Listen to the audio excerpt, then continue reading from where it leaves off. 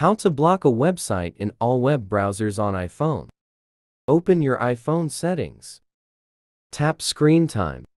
Tap Content and Privacy Restrictions. Tap Content Restrictions. Tap Web Content. Tap Limit Adult Websites. Block a specific website. You should flush your computer's DNS cache after editing the host's file in order to prevent conflicts between the host's file and your browser. Thanks for watching video.